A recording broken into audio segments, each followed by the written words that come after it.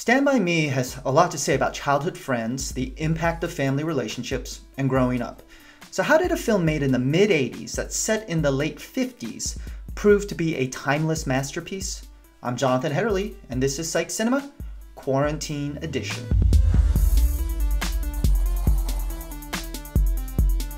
I'm starting a series within a series, kind of like a dream within a dream, called The Films That Shaped My Love of Cinema.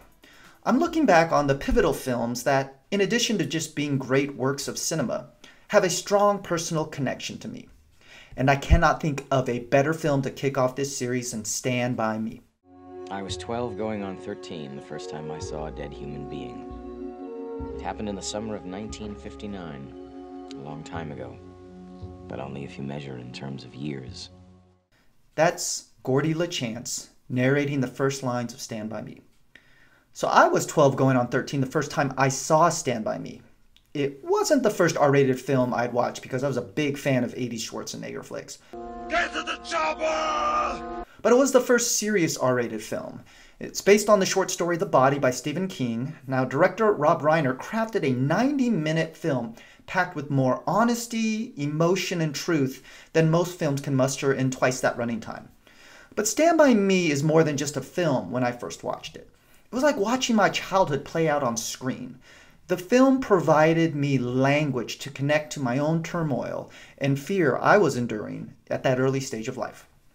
The story is framed around Gordy LaChance, played by Wil Wheaton, the central character and narrator who reflects back on Labor Day weekend 1959 in the small town of Castle Rock, Oregon.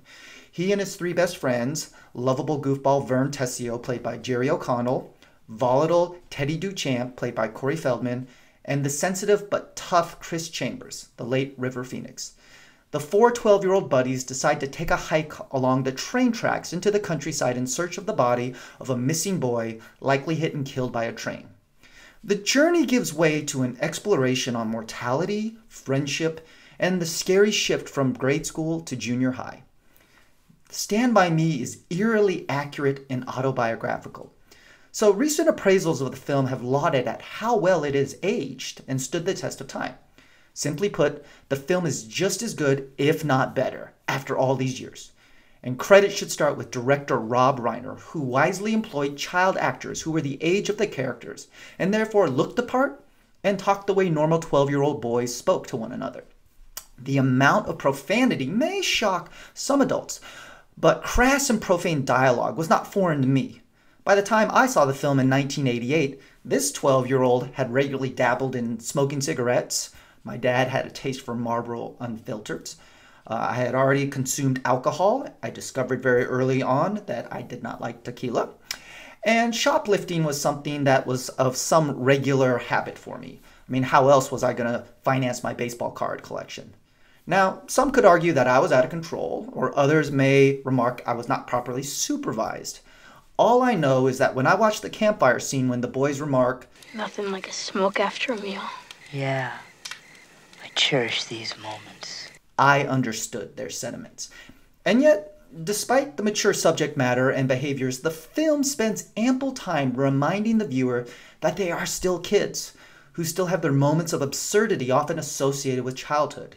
Like the philosophical question Do you think Mighty Mouse can beat Superman? Now, the film's honest touch must also be credited to the author of its source material. Stephen King has spoken about the autobiographical nature of the film.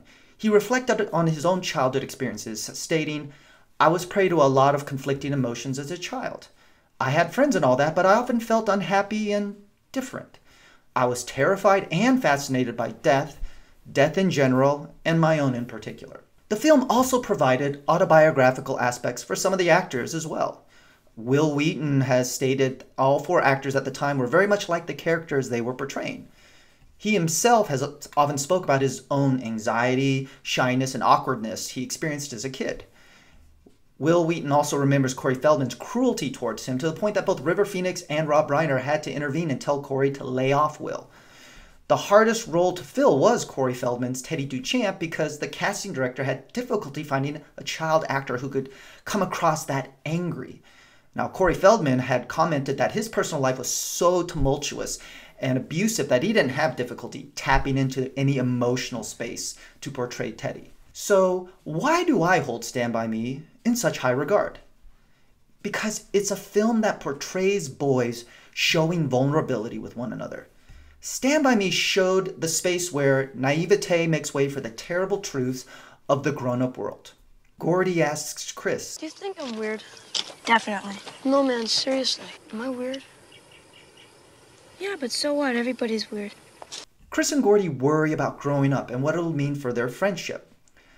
Gordy, recognizing that Chris knows him better than his parents, fears that they will grow apart and fade out of each other's lives. But Chris encourages Gordy to excel in his life without consideration to him or his parents.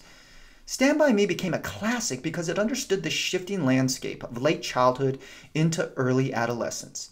I mean, how many films show kids to be scared, insecure, and damaged like many are in real life? The film really highlights that we don't get to choose our parents. The topic of family, and parents in particular, is central to the film. Up to that point in my young life, I hadn't been exposed to a, a film or story that was a commentary on my own life. Stand By Me provided language and emotions to own my story. I'm a child of adoption, a Korean kid raised by a Caucasian family, and a child of divorce. I would not have been able to verbalize it at the time, but it was clear I was filled with sadness, worry, and anger at my young age. And like many kids, and like the character Teddy, I buried my emotions with the facade of humor. I became a jokester. And I found solidarity with Teddy, Chris, and Gordy. I understood how the actions of parents profoundly impact the lives of their children. Beneath Teddy's playful demeanor is a rage that is easily triggered. And although his trauma has been at the hands of his father, Teddy is not capable of reconciling the image of a heroic war veteran for the mentally ill, abusive man that mutilated his ear in what is implied to be a post traumatic fit. In a scene that is both touching and disturbing, Teddy flips out when the junkyard man trashes his dad, calling him a loony. Chris likewise struggles with the expectations that are assigned to him by virtue of his family reputation. Known as a family full of crooks and booze hounds, Chris tearfully confesses his pain that by virtue of his name, people will assume the worst of him or assume the worst to come from him. When River Phoenix delivered his sorrowful monologue, it registered with my own shame and embarrassment. I was extremely self conscious after my parents' divorce and my family's socioeconomic status. Now, I may have identified with Teddy's volatility, but it was Gordy's relationship with his family that struck a nerve. Now, my family did not experience the trauma of the death of a family member, but it did experience the loss and grief associated with a broken family. My older brother went to live with my father, and both gradually faded away and out of my life to the point where, like Gordy, he feels unimportant and in- invisible to his father. Gordy struggles with his father underappreciating and ignoring him. He can't make sense of his own grief and having never cried at his brother's funeral, he's driven to go find and see the dead body of Ray Brower. And by the end of the film, Gordy not only achieved what he set out to do, but he has the perspective that whatever neglect he has experienced at the hands of his father is not his doing, but his father's issue. And so we look at this changing child of growing up in the 50s, growing up in the 80s, or growing up in the 21st century. Because many years removed from my childhood days, I'm now a licensed psychotherapist. I work with young guys, many who encounter social struggles and the inevitable changes that come with life. They range from middle school age to their late 20s. Some guys I work with have started college, others have relocated for work, but all are tackling change and they all, in some fashion, are scared and unsure of themselves. So, was my childhood unique? Have things always been hard for young guys, or has friendship for boys changed over time? it's probably not an either or scenario. I mean, certainly a lot has changed in our culture since the mid 80s when I grew up, and even more so since the late 50s. But different times, there are still the same hopes, fears, and insecurities. So, what does this all mean? Nothing except that each generation has a set of challenges they face in early adolescence, and each generation is rewarded with opportunities that may not exist for others in different eras. Watching Stand By Me is an invitation to reflect on my own childhood experiences, the good and the bad. I'm watching my own children grow up in very different times, but the prospect of growing up is always in some way scary. And the power of friends and the pain of family can stay with you long after they cease to be a part of your daily life. Gordy's final words summarize the specialness of that time in one's life. I never had friends later on like the ones I had when I was 12. Jesus, does anyone? Thanks for watching. Be sure to share your thoughts on what makes Stand By Me so special, or tell me what film captures the essence of your childhood. Until next time, I'm Jonathan Hedderly. Please take care of yourself, be smart, be safe. We're all in this together, and together we're going to get through this. So, until next time, I won't see you at the movies because you need to stay the home.